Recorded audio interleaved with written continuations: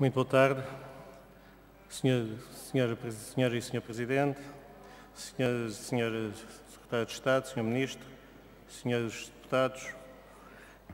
Um, começar, na verdade, pela realidade. E o que conta são os resultados, como já foi aqui dito nesta Câmara, e os resultados não são apagados por discursos da ocasião. E começando por bolsas, referir que em 2015 pouco passavam dos 800, em 2016 atingiram os 1.380 e prevêem-se em 2017 1.440 e poucas. Portanto, os resultados estão à vista e são estes que não são desmanchados. Desde 2016 que se retomou o processo de convergência para a Europa do conhecimento e, tal como o Sr. Ministro afirmou, a proposta de Orçamento de Estado para 2018 consagra a responsabilidade política de continuar esse esforço coletivo entre os setores públicos e privados, destacando-se o trabalho colaborativo entre os diversos atores do sistema da ciência, tecnologia e ensino superior e os diversos parceiros sociais, estimulando-se a promoção e valorização do ensino superior e da ciência no plano nacional e internacional. Esta proposta de orçamento mostra também que a partir de 2016 foi finalmente possível inverter a tendência de decréscimo de despesa pública e privada de investigação e desenvolvimento verificada desde 2010, mostrando que esta despesa aumentou mais de 5% do que o aumento relativo ao produto interno, interno bruto entre 2015 e 2016. Em termos de acesso, os dados mostram que o número de estudantes já colocados no ensino politécnico aumentou 16% e aumentou também 2% no ensino universitário, tendo o número de estudantes colocados em instituições localizadas em regiões de menor densidade demográfica aumentado 13% face ao ano anterior, crescendo 20% nos politécnicos dessas regiões. No âmbito do ensino superior e nos termos consagrados, os contratos com as instituições incluem um acréscimo face ao valor de 2017 correspondente às alterações legislativas entretanto ocorridas, designadamente as despesas associadas ao reposicionamento do título de agregado, à alteração do salário mínimo, do subsídio de refeição, bem como a despesa associada à revisão do regime transitório da carreira, uh, da carreira docente politécnica. Uh, mas se, na verdade, estes resultados são muito positivos e nos dão confiança para o futuro, é também verdade que nos trazem a responsabilidade de garantir que se continuará a crescer nos próximos anos evoluindo no sentido de convergir efetivamente para a média europeia.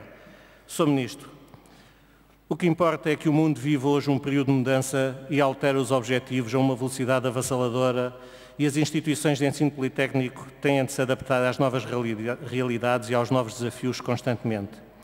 E as formações curtas de âmbito superior iniciaram-se em Portugal em 2005, através dos cursos de especialização tecnológica tendo sido posteriormente alterado o seu funcionamento em 2014 através da criação de cursos técnicos superiores profissionais. Ao contrário do que era afirmado pelo anterior governo, os portugueses estão a frequentar e a investir no ensino superior politécnico e na ciência o Estado tem e terá sempre um papel fundamental. Para o efeito destaca o Programa de Valorização e Modernização do Ensino Politécnico, onde se prevê a disponibilização de 70 milhões de euros para novas atividades de investigação e desenvolvimento baseada na prática e para formações curtas de base profissional, as quais foram reforçadas, tendo sido aprovado um novo regime legal para a sua consagração, em que hoje incluem mais de 11 mil estudantes e a sua concretização da componente formação em contexto de trabalho mobiliza cerca de 8.300 empresas e organizações com capacidade de proporcionar estágio a cerca de 23.500 estudantes. Sobre isto, estes são resultados, os resultados não se apagam com discursos de ocasião. E pergunto-lhe, estas respostas das instituições e empresas são ou não promissoras para o ensino superior politécnico? Como considera que as instituições de ensino politécnico devem agora responder aos cursos técnicos superiores profissionais para garantir todos os objetivos elencados? Sabendo que a precariedade também é outra das suas preocupações e do seu Ministério no último ano e meio, em que medida contribuiu à aplicação do regime transitório nos politécnicos para a integração dos professores adjuntos doutorados até ao momento. Em termos de apoio à criação de laboratórios colaborativos, estimula-se a inovação e privilegia-se o estímulo ao emprego qualificado, em estreita colaboração com as instituições científicas e académicas e o tecido produtivo, designadamente as empresas, o sistema hospitalar e de saúde e as instituições de cultura e organizações sociais, bem como se promove a valorização do conhecimento científico de Portugal no mundo e o reforço do investimento estrangeiro em Portugal.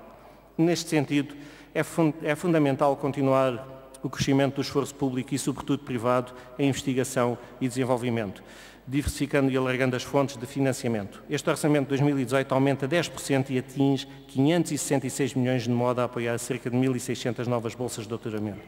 Para acabar, Sr. Ministro, Obrigado. em que medida considera que o estabelecimento em Portugal de laboratórios colaborativos representa uma nova fase de evolução e desenvolvimento do sistema de investigação e inovação para reforçar a institucionalização da colaboração entre instituições e quais os temas e os grandes desafios nacionais Obrigado. das primeiras candidaturas submetidas ao Estatuto de Laboratórios Colaborativos a atribuir pela Fundação para a Ciência e Tecnologia, nomeadamente como pode a ciência contribuir obrigado, para a prevenção e combate aos incêndios florestais. Muito obrigado. obrigado. Desculpe, Sr. Presidente. Obrigado.